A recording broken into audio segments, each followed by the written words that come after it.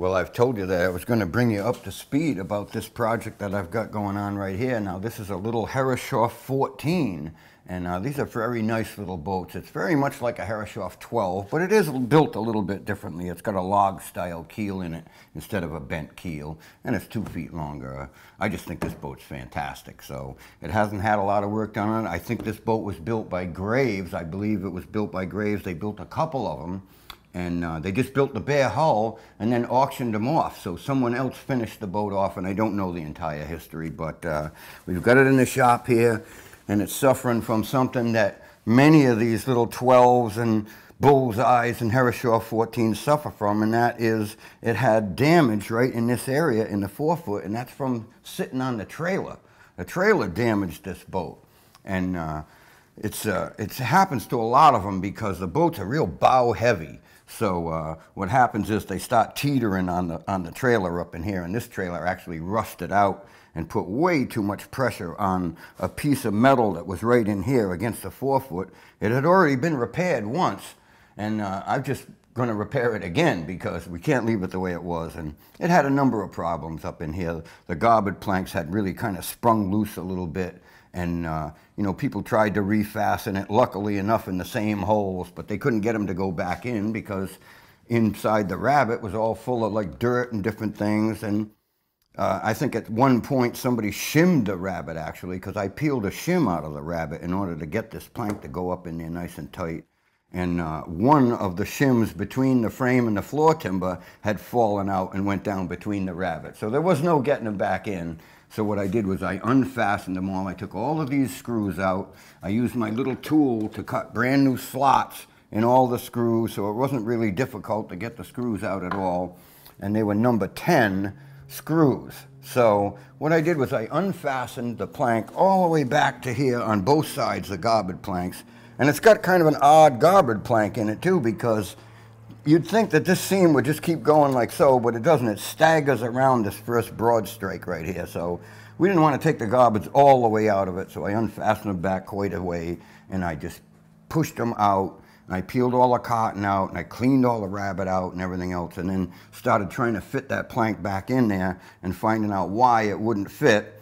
And uh, it just had numbers of different things. The back of the plank was rounded like this, and yet all the surface that it wanted to mate up against was nice and straight, the floor timber. So whenever I put it up in there and you'd fasten it here, it would rock the plank back and forth. It was just a mess. So what I did was I just sprung it out and I took a big slick like this while the plank was right in place and I reached behind the plank and trimmed the back of the plank until it was flat and sanded it a little tiny bit. And then uh, I scraped at the rabbet a little bit and I got them to fit up in there nice and tight few other things I did was I took the bolts out of what you'd call the gripe up here, which would be the joint between the stem and the forefoot right here. And uh, the bolting was bad. Some of the bolting was all deteriorated and different things like that. So they had full threaded bolts that weren't side loading properly and all kinds of different problems. But I've extracted the bolts and I made a new stop water and refit this back up in here and bolted it back together. And now you can see that the garboard planks are fastened back up in place nice and tightly. And uh, I've whittled away at the forefoot down in here and fashioned a new piece and knocked the bolts out that went down through the floor timbers and different things that were in the way and uh, fit that piece on there and glued it up and I don't expect there'll be any problems with that. I've done so many of these, it's unbelievable. And every boat you do is a little bit different because some of them are damaged up in here, some of them are here, some of them need a whole new stem. This boat was real lucky that it didn't need any more than this piece is kind of superficial. It is the piece that you caulk against when you're caulking this seam. You're pushing uh, cotton between the garboard plank and this piece right here. So this piece has to be bolted up solid and glued on nice and tight and uh, isn't going to be any problem at all. Some of the screws that came out of here, well, like I said, were number 10 by an inch and a quarter. And uh, I put number 12s back in exactly the same holes. We didn't drill any new holes or do anything like that. We extracted the screws, we put number 12s back in, they held perfectly tight, right in the same size plug hole. We replugged it in the same holes. It doesn't have one extra hole in it, and it's all buttoned right back up again and ready to go. So we only have a very few things to do, and that's caulk it with some cotton, and I'm gonna put some plugs in some of the holes, the bolt holes here, and that's pretty much it. Well, I've gotten out a pound of cotton or a ream of cotton here, and I'm just balling up some cotton so that I can, it's, it's easier for me to use it this way if it's balled up. I don't have to keep going back to the ream, ream and trying to figure out why it doesn't come out of there or anything. I always do it the same way. I take the ream, open it up, ball up the cotton, and then I just throw it into my little bucket there. And now it happens that I'm actually only going to use probably a half a strand because these seams are pretty tight right here and a whole strand would be a little bit tricky to caulk it with. So I'm going to rip off a piece right here and uh, I've got it I'm going to split it right down the middle. Now all that cotton is longitudinal in there so you could just go from one end of this thing all the way to the other and never come off the side. So what I'm going to do is caulk it like that and then I'm going to use this piece later. So I'm going to start it off right here. This cotton's going to overlap the other cotton that's in the seam behind it just by a little bit. And I'm using a little leather mallet here because I don't have space for my caulking mallet. And here we go. Now I'm just going to drive that in, pick up another little loop, drive that in. It's pretty simple stuff, really. The secret is getting the right amount in the right spot.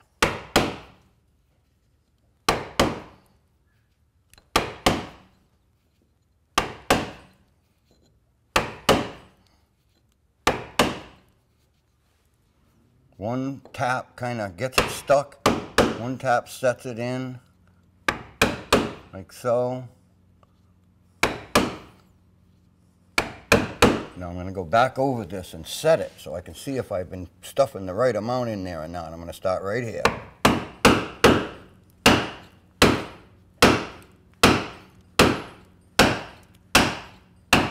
Feels good to me.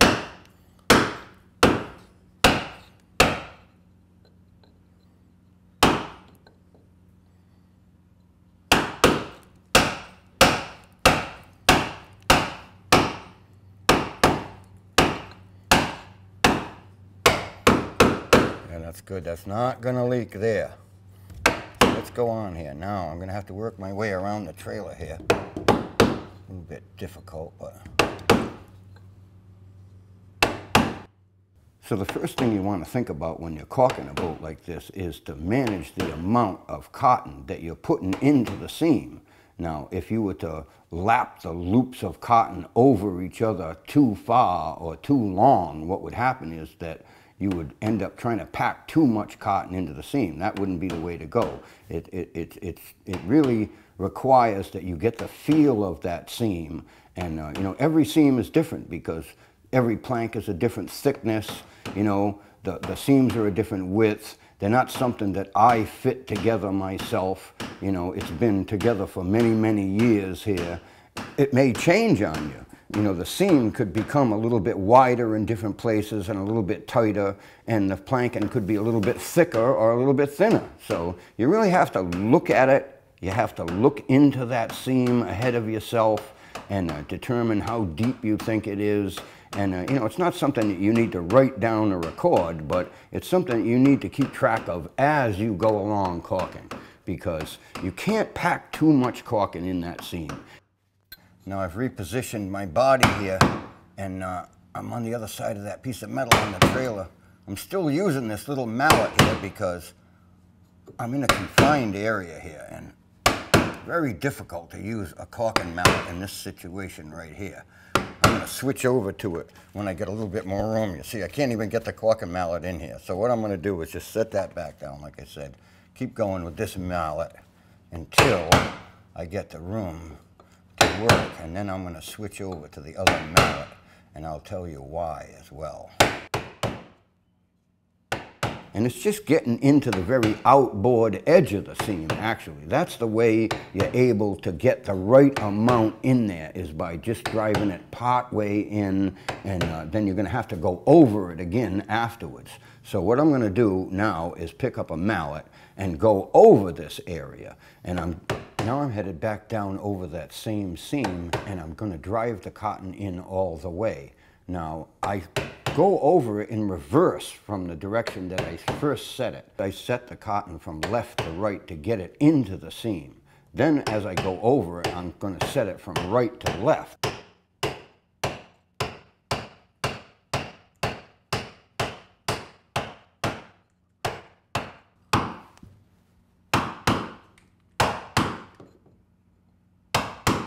me see if I can just get around this corner here. I'll have to come from this direction. Work my way up to the corner. Like that.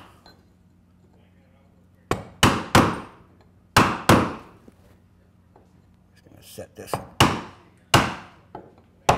That's good. Now I'm putting on a headset because this beetle this is what they call a beetle. It's a caulking mallet, but we call it a beetle because it chirps at you. And it's got a really terrible chirp as well. And some mallets are way worse than others. This one's not the worst one of them all, but it does hurt your ears if you're not careful with it. You don't want to be caulking any extended period of time with a mallet like this and a caulking iron like that because when you're done, you're not going to be able to hear anything. You know, so be careful when you're doing this right here. And like I say, I'm driving the cotton in in exactly the opposite direction that I first set it into the seam because I'm trying to get the cotton to, to seize against each other, each loop against each other and become tight against each other, never mind against the seam. So you can't just drive one loop all the way in and then another loop all the way in on top of it and just go along like that. That isn't going to work. What you have to do is set it part way into the seam and then go over it again with your caulking iron and your mallet. I'll pull it. Just too tight in one spot and not tight enough in another. So what I've had to do is stop right there and pick up a reefing hook and pull that cotton right back out. Now I'm not beyond embarrassment, but uh, you know, then again, I'm not that embarrassed about it because the fact is, is that it has to be done properly. Part of the issue there is, is that it's got the gripe right there. Now the gripe is a spot in the boat where the forefoot and the stem come together, right? And uh, there's a, a, an odd piece of wood in there that I would call a stop water. Now you can see it right there as I caulk up to it. It's basically what it is, is a hole that's drilled in the seam, right through the seam, because you're trying to interrupt that seam. Now I can't interrupt that seam in between the two pieces, between the stem and the forefoot with cotton. What I want to do is interrupt that with a piece of wood. So what you do is you drill, say, a 3 eighths of an inch hole through a piece of oak and then taper it, and then you take a octagonal piece, possibly a little bit bigger than that, that hole is, and you drive it down through that hole in that piece of oak and out the other side. And what it does is it squashes that piece of wood down to 3 eighths of an inch in diameter. It, it wouldn't do you any good to, to turn it 3 eighths of an inch in diameter and then put it in the seam because it wouldn't swell up enough and become tight enough to interrupt that seam perfectly well. So what you do is, like I say, you drive it through a hole in a piece of wood and out the other side. And when it comes out the other side, it's 3 eighths of an inch in diameter. So you can see it as I caulk along, as I caulk past that stop water. You know, the stop water is exposed. And uh, you can see the very outside of that stop water, the very forward side of the stop water, the side that the caulking is, is being pushed up against. So what happens there is the cotton interrupts the seam and the stop water interrupts the uh, seam between the stem and the forefoot. So that's the way it's done right there. Now you can see that I'm using a particular technique as I do this. I'm rocking the uh, iron back and forth as I go along. As I rock it, I'm able to slide it along a little bit and have it be in a different position and then drive it again and then rock it again and drive it again. And, uh, you know, if you're lucky, what happens is you get into a really good rhythm of doing this and you, are able to go along quite rapidly as you go along these seams and uh, drive the cotton into place.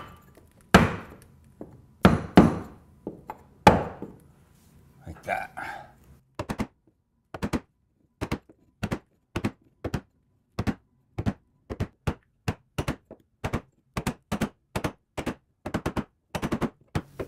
So we're just finishing up here now. We've got one more long seam all the way up to the bow. And uh, as I go along caulking this, you know, you, you, you really, as you caulk it, it has to be pleasing to you. I think the pleasingness of it is what allows you to develop the rhythm that is necessary in order to get the job done properly. You know, it's funny that you, as you caulk along, you just seem to start smiling right away, and uh, it's pleasing, like I said. It, it just, it's a satisfaction that you get out of it that allows you to be able to feel good about continuing going along the same way. Everything about it has to be right. You know, I have to feel good about it. I have to, it has to sound right to me. The rhythm has to be there. So that's pretty much it on the starboard side. Now we're going to shift over to the port side and caulk that with cotton. And then the only thing we have left to do is cover it with seam compound.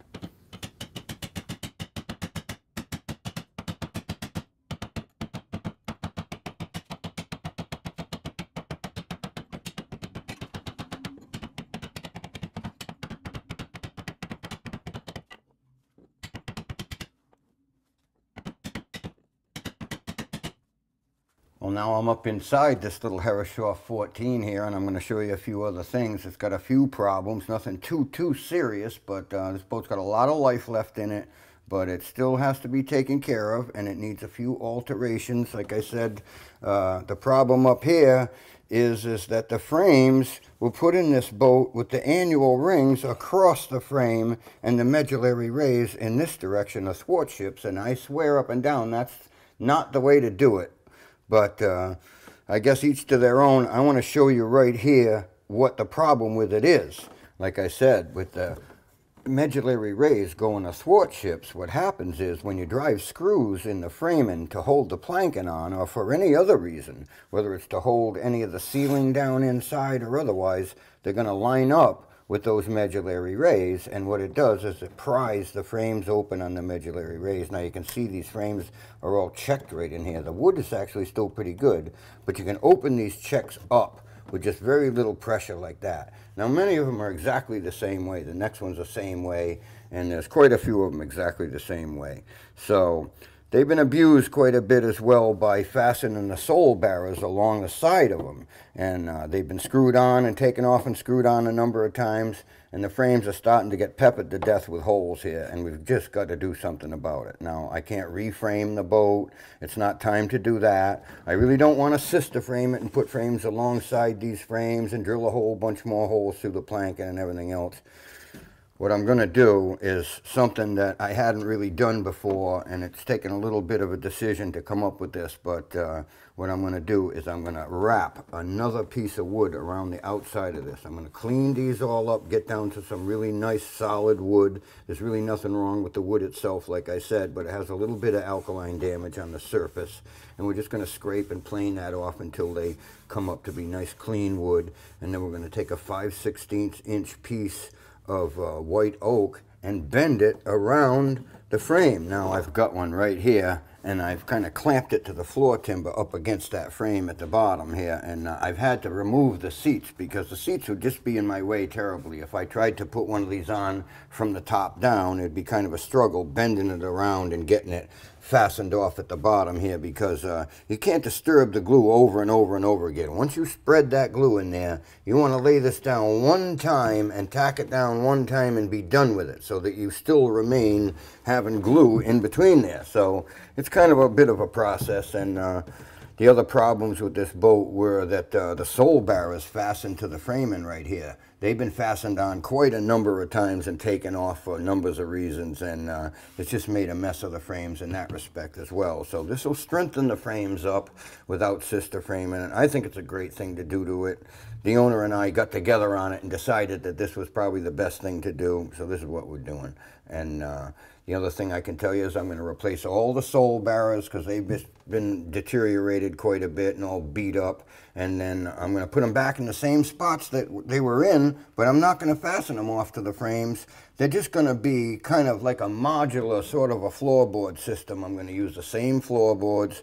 I'm going to replace the sole bearers, but then I'm going to put some deeper sole bearers that go alongside the frames that will fasten to the side of the frames, but the bearing will be on the top because I'm going to cut like a rabbet out of it so that the floor timber will sit on top of the frame and yet be fastened alongside. So I think I'll, that'll cure that problem. And it's only had a sole bearer on every other frame. So, I mean, I can decide to put them on the frames that didn't have sole bearers on them or anything, but we're still kind of designing that system and uh, it's going to cure the problem. The other problem with it was, was the sheet lines went down to the floorboards in this boat, right in this area right here, the main sheet. So whenever you tended the main sheet, you were pulling up on the floorboards. So it's yanked the floorboards out and it keeps wiggling them around and everything and abusing it.